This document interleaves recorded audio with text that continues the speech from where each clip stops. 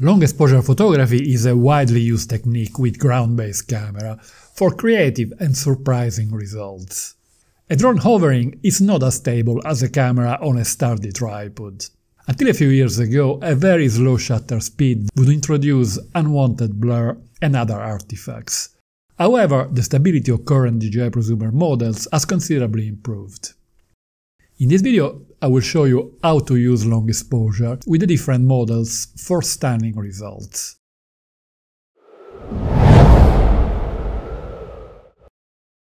Slow shutter speed value modify the aspect of the element in motion within a scene. To get the feel of movement in vehicles or people walking, for a silky look in waterfalls or waves, or to soften the cloud movement on a windy day. With extreme speed, it is possible to make cars or walking people disappear from a scene, which can be useful on certain occasions. We can also use the movement of the aircraft to get creative and unexpected results, as we will see later on. Three parameters interact for exposure, the aperture, the ISO value, and the shutter speed. Manual exposure is mandatory, as we want to use a specific shutter speed value. The other parameters will be adjusted to get the correct amount of luminosity. The Mavic 3 is the only current DJI model with a variable aperture. This makes things easier, as we can modify this value to fine-tune the amount of light entering the sensor. With other models, the only parameter available is ISO. Ideally, we want to use the base value of 100 for the best image quality, but the current models respond very well to higher values, and we can use up to 400 ISO without any noticeable quality loss. This leaves some room for maneuver.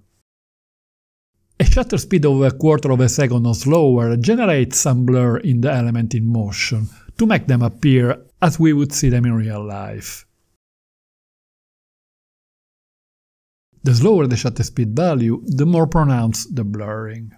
The still elements should remain in focus, unaffected by the blur. In the Mini 4 Pro and Air 3, the slowest shutter speed value available is 2 seconds. We can see the result of different shutter speed in these examples. There is also a simulated long exposure mode with values from 2.5 to 8 seconds for extreme results. It is obtained by taking several shorter photos that are then stacked and processed by the app.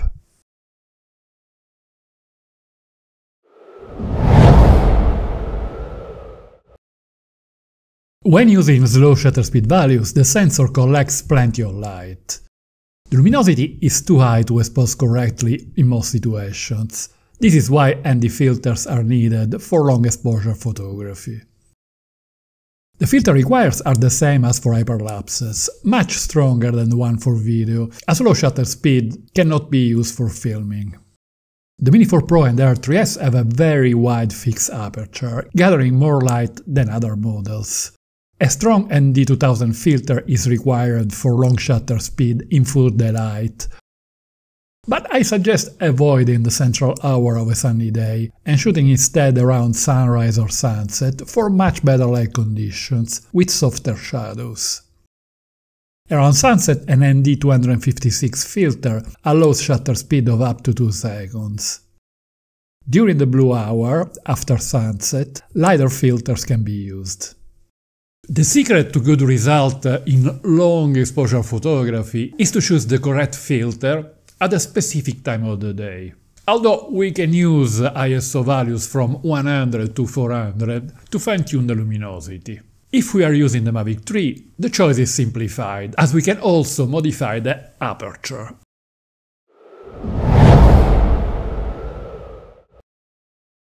We generally think of drone photography as images taken from a high point of view, but the drone is not necessarily always flying. We can use it like a ground-based camera, without activating the propellers. All we need to do is find the level surface to place the aircraft on.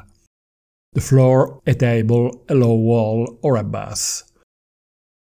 We can even use it with a tripod. When the aircraft is placed on a solid surface, we can select very long shutter speed values and take advantage of countless opportunities for great long exposure photos, especially in urban environments. Let's have a look at some long exposure images that can be taken either with a camera on a tripod or with a drone.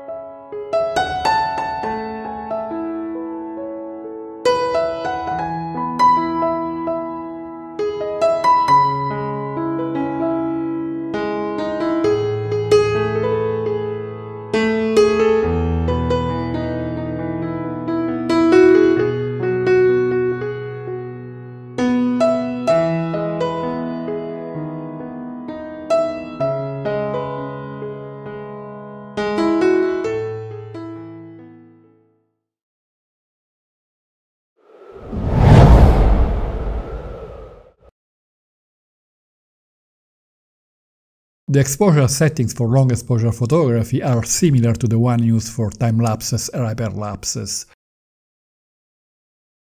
As in both cases we want to create motion blur on the moving elements without affecting the rest of the image. It is possible to get stunning long exposure photos by shooting a time-lapse or hyperlapse, then scrolling through frame by frame to select one or more images. We can then summon the photo file and process it. To edit all the images, I have used Luminar Neo, my favorite post-processing software. You will find the info about it together with a discount coupon in the description of this video. It is an affiliate link, so I get a small commission in case I purchase, whichever the channels go. You can watch my video about Luminar Neo by clicking on the link above.